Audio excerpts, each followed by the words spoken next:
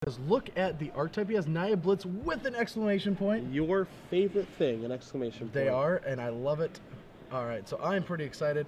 Forrest Mead has a little bit of an inconsistent Jund deck. It's not that focused, so I think this could be a very tough matchup for him. Yeah, as And- opposed to like your normal Jund deck or your normal Junk Reanimator deck, he's trying to do both, which Yeah. is going to leave him a little bit unfocused, maybe stumble around, maybe draw the wrong half of his deck. You know, Mm-hmm. something like that can happen. And when you're playing against Naya Blitz, that's not good.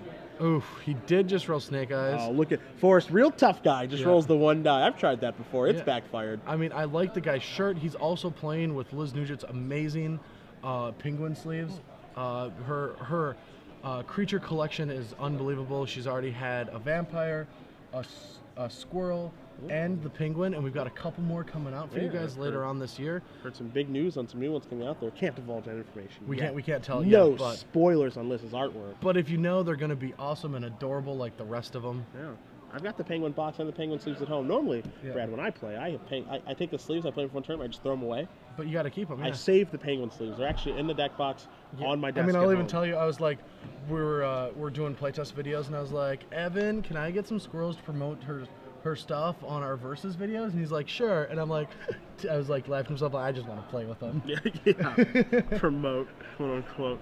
As we do take a look at Forrest's deck list, if you guys not, have not seen the deck tech, we'll probably run it again uh, another time this week. And it's also on the coverage website, of course. Three Olivias, two Restoration Angels, three Huntmaster of the Fells, four Thragtusk, three Deathrite Shamans, uh, two Pillar of Flames, two Victim of Nights, a Mortars, three Bonfire of the Damned, two Rakdos Return, two Unburial Rites, a Sever, four Farseek, two Abrupt Decay, and two Grisly Salvage. So he's a little all over the place. But as we as we all know, a deck tech is great, but seeing it in action is even better. And as we see, both players did mulligan to six here. Forrest starts with a Blood Crypt, but Aaron has the champion of the deck and champion of the parish. Arguably the best one drop in the format. You can certainly make an argument for Avacyn's Pilgrim as well. All right, so we have uh, what do we have? An abrupt decay or a Searing Spear coming because there was uh, a Farseek in Forrest Hand that he um, did not play. So it looks like he probably does have a removal spell here, and we're going to see Cavern of Souls, likely going to name Human here Yeah. for Aaron. The jig is up. I am playing the Naya Blitz deck, and we'll see an Abrupt Decay take care of the Champion Parish, but Thalia could be a bit of an issue. Yeah, Thalia does hurt a deck like uh, Forrest since uh, he does have these uh, abrupt decays and these Farseeks, but as well as the Grisly Salvage, which is a lot of more spells that uh, aren't actually interacting with your opponent immediately.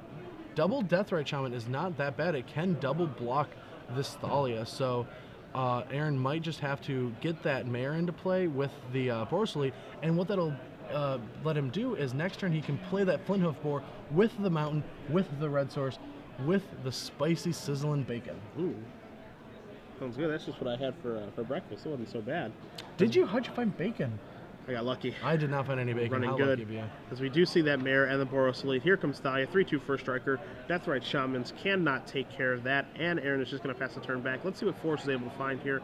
As he does draw a Huntmaster of the Fells, that is not a land, and you can see in his hand right now, He's Brad, you see a Farseek, you see cards that he can't cast, and you're going to see Mayor of Avabruck flip into Oh. Howlpack Alpha. So now he's going to be able to attack with everything. He's probably going to keep that Thalia back since now it's back down to a 2 1. Uh, so we're going to get that boar into play, give it haste, attack with three three threes.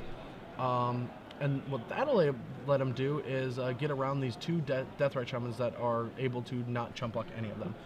And now you see that Flinthoof Boar coming to play. You see it getting haste. And now you see the Boar Is and he- the Alpha coming in. And is he going to attack with that Elite? Because it will be a 3 3 because of the Battalion trigger. And he All just opts He- to hold that back. Buddy, Battalion, Blitz. You got to use it. You Gotta got to attack. You know, you know who would have attacked? Who? Always put Yeah. or always shove. Oh, always, always jam Nico or always Christensen. jam, yeah. We do see an attack there, and we see Forrest draw another card. And what we don't see here is him drawing lands. As you see him staring at a bonfire of the Damned that he would have loved to cast a couple turns ago, would have mopped everything up, but he doesn't have the lands to be able to do that. So Aaron does just draw a card. I think he has another Flinthoof Boar in his hand. You see Rootbound Crag, and you see Temple Garden. So his hand is pretty nice. Yeah, I would not complain if I was in Aaron's uh, position. He not only had a very aggressive draw, but Forrest is not doing absolutely anything. And now you see Always jam, always jam. you see always jam, and he is doing it this go around. No fear. Yeah. And Deathrite Shaman along with the lands are going to get picked up and Forrest Mead down a game. Aaron LeBlanc with Naya Blitz up one. I get to see Forrest Mead. I get to see Blitz. This is, I get bunny ears. I get double standard weekend. My buddy Jake won a PTQ. It's a good weekend. Good clean living. That's I what love they it. call it. I got a good night's sleep. Yeah, must be unreal nice to be able to do that. I hope I beat you to sleep so bad this weekend because I'm gonna snore like crazy. I don't. You'll just fake it. You'll just like not get sleep just to bug me tonight. That's true. I will. I, like, I I will am not above that. yeah. I'm not above that at all, and I am gonna sleep on the plane. It's just like me. it's like that 3 a.m. Cedric goes pillow fight. Absolutely. Let's battle. I'm good at those. As we're going to take a look at Forrest's sideboard here, uh, on Huntmaster of the Fells, two copies of Assemble Legion, two, two, uh, excuse me, Acidic Slimes, two Tragic Slips, two Duress, a Mizzium Mortars, two Slaughter Games, a Deathrite Shaman, Abrupt Decay, and a Rakdos Return. Obviously, going to want to lower the curve and board in as much removal as he can, and board in some two for ones like a Huntmaster of the Fells. So you can expect to see that come in. Those two Slips are going to join us. That Mortars will join us. And we might see that additional Deathrite Shaman as it is a decent blocker, and that Abrupt Decay will probably Yes, come in. uh, those are all really good cards in this matchup. Uh, we do see a Jund Rights list, but even when I transition uh, with a junk deck, I go away from Unburial Rites in this matchup. It's just too slow. All you have to do is put a little bit of defense up, and that usually crumbles a deck like Naya Blitz. Uh, the only cards you do have to worry about at that point are the Mayors that flip and create more creatures, or the frontline medics. That's all Forrest really has to worry about in the long game, those eight spells. So, on Aaron's side of the board, though, he has two Tormod's Crypts, three Boros Reckoners, three Pacifisms, two Fiend Hunters, three Boros Charms, and two Gruul Charms. None of these are actually that great in this matchup. Uh, I haven't been a fan of any. The Pacifisms are okay at dealing with some of the threats, but not all of them. Uh, so you probably will see those cards coming in for maybe uh, the Lightning Maulers. Now, not a lot of Naya Blitz players are psychopaths like me. I usually take out my Lightning Maulers because they're not that good. Uh, but you, you, you see people always wanting to jam, and you want the most aggressive draws as possible. So I think that's what we're going to see. Another card that sometimes can come in in this matchup is the Gruul Charms. Uh, Jund decks have two different draws. They have the high removal uh, draw or the I'm going to play a bunch of creatures and try to bonfire you out. Now, the Gruul Charms are very good when your opponent is not interacting with you and they're just trying to put defenses up.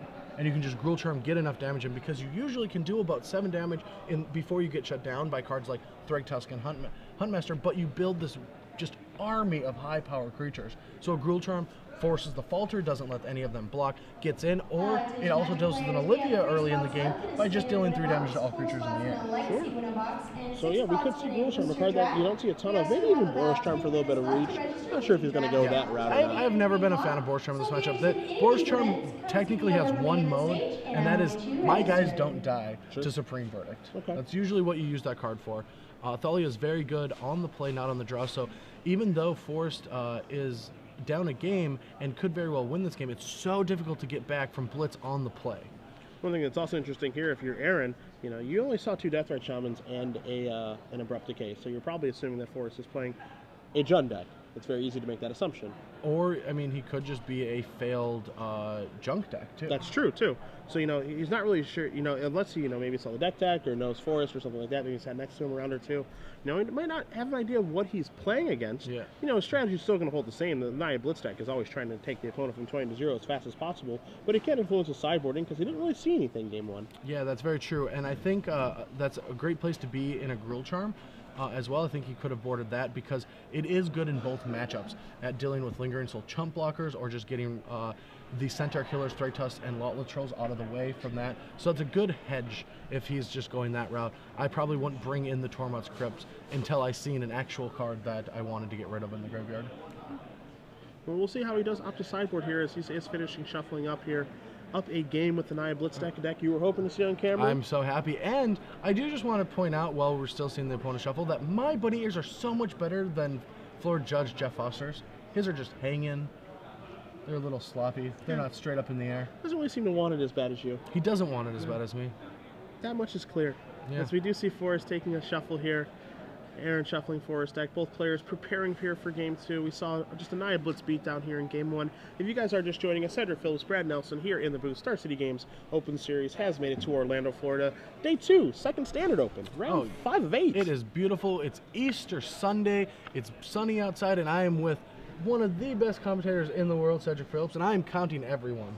Very- Even football commentators Wow. and basketball ones. Very much appreciated. I- I Sports appreciate it. enthusiast Cedric Phillips. I also enjoy sports. I'm I big, do. I'm a big sports guy. Yeah. And if you enjoy sports as much as Brad as I do, you can join us on Twitter. The conversation SCG Live, hashtag SCGORL. You can tell us just how awesome bunny ears are and just how good of a card Champion of the Parish is on turn one. Uh, it is very good, uh, but it is going to fall and scrape its knee. Yeah, Mm. its knee's a little out. It can't really run. It's got to stop for a little bit. What a wimp that champion I is. know. Dies to a tragic slip. Well, he doesn't have any friends. Not yet. If he had a couple friends, he would not fall and hurt his knee. One card you do see in his hand right now, Brad, is you do see a Thalia, is you actually do see a Gruul Charm in Aaron's hand. Yeah, so we do have that Gruul Charm that is going to shut down that Olivia, but we also see Victim of the Night and Huntmaster in hand. Also the Restoration. Ooh, we could get dirty. Forrest is not fighting fair this game. And we are going to see Thalia come across. Forrest says Victim of the Night's going to take care of that. Victim of the Night, a card that we'll bring up on screen for you guys. It's a rule spell that, you know, some sees some play sometimes, sometimes it doesn't. We even saw it make a bit of a splash at Pro Tour Return to Ravnica in Seattle. Yuya Watanabe playing them in his Jund deck. Yes, and and speaking of Jund, I I've geeked out the hardest when I saw a Victim and I Night target a creature and then that person in response turned into a vampire with Olivia. Ooh. It's so beautiful when things like that happen. That's what That makes is me a fun. Magic fan. Now yeah. that is fun. Because we're going to see a post-combat experiment one, and he's going to follow that up with a Mayor of Avabruck. So there will be no evolve, but the experiment one is a human, so it will become a 2-2. It might not have evolved, but it did get more sophisticated. I like it. Yeah. I like it. I you use the big words with all the syllables. Because we are going to see an Olivia Voldaren. That's a lot of syllables, and that one's also really, really hard to beat as well. It But is. Gruul Charm in the house. That's going to take care of that, and that's a card we'll bring up on screen for And you. if- Brad, you called it. If you're not Gruul, then die. Is that the flavor text? Yes, it is. Wow, I thought you were going to say if you're not Gruul, you're not cool. Well, not Gruul, then die. Huh, You were close enough. Yes. Borborgamos. He's got a thing to say about Olivia. Borborygmos. I like calling it I, Borborgamos. I do too, but Lauren yells at me all the time when I Mm. say that. Everyone trying to be all correct. All right, I so, like to call him. I like to call him an Enrique Iglesias single. all right. Borborgamos. So, uh, despite our, you know, Borborgamos talk, this board is really bad. Uh, Aaron is going to have to find maybe that extra Gruul Charm, maybe flip that Mayor and try to build that way. Uh, we do see a Lightning Mauler uh, and some Evolve, so we can just send our team, which would make the Thragtusk have to trade. Now, this is a very good decision because Aaron does not know that Forrest has a Restoration in his deck and hand. Uh, maybe if I was Forrest, I might not even block there. That Thragtusk is. No, the That Thragtusk should die right now. Yes, By my math, as that uh, a. Uh, that is a three-three Yes, experiment one from the counter plus the mayor. So we will stop. uh, we will stop that. There we go. So we fixed that really quickly here. Beast token will come into play. Our game state is correct. Jerry Thompson. blasphemy. Jerry Thompson in the house. That is not a Brad Nelson token. What is Forrest doing? I think Forrest knows that you're watching. I can I can I go take him one? No, No. is that okay? You gotta No? stay. Gotta stay here. The Sorry, director's man. shaking his head. As we are going to see a Farseek here from Forrest. Maybe regretting that block in the experiment one now. We're not Good. sure. Good has been announced. Good. Brad I thought we were friends. Brad a little bitter seeing the Jerry Thompson token out there. Jerry secretly at home watching, probably pretty pleased with what he's done. is a slumlord rat token. He is. Wow. That is not an insult. I'm saying all of them. Wow. Now, shh. He is lingering souls tokens, Okay. but he is not a beast And token. now Jerry's off the screen. Now we're just back to a regular beast token. Is that a, is that a fair compromise? yes, that is fine. All right. All right, Forrest is going down to 18, and with one Restoration Angel in hand, he's going to pass the turn. The Farsight does keep the Mayor down, but he's going to have to find either a Mizzium Mortars or a Bonfire really quick here.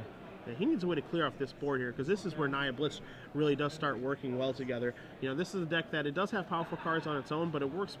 The, the deck works together very well in tandem. As you're going to see a Fiend Hunter take care of the Beast token here.